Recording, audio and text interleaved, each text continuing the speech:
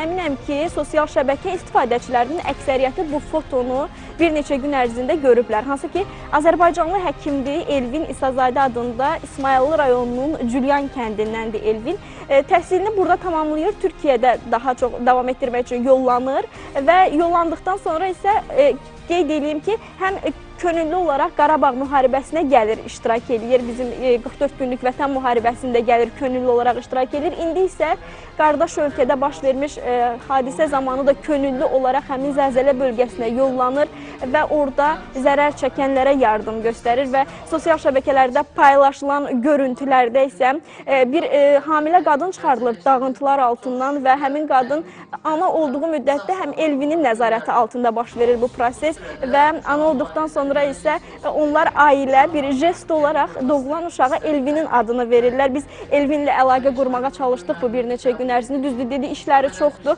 amma e, son anda e, Ankaraya gəlmişdi. O bir neçə dəqiqəsini bizim üçün ayırıb həmin hadisəni bizim üçün danışdı. Elə həmin sinxronu indi e, sizə təqdim eləyəcəyik. Getdiyimin üçüncü günü kadın doğum uzmanı mənə zəng elədi. E, Zəlzələdən zərər çəkmiş bir anaya acil e, doğum elətdirdiyini və bunların təqibi üçün yer ehtiyacı olduğunu dedi.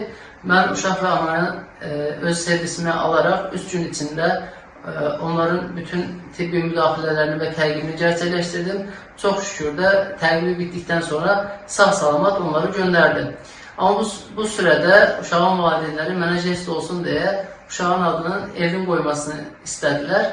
Və e, təbii ki, mən də bunu böyük məmnuniyyətlə qəbul etdim. Çünki o qədər bir ağır sürənin, ağır sürəzin içində e, bu insana başqa bir ruh yüksəkliyi verir. E, Hal-hazırda da körpə və anasının vəziyyəti çox yaxşıdır. E, körpəmizə gözəl bir həyat arzulayıram.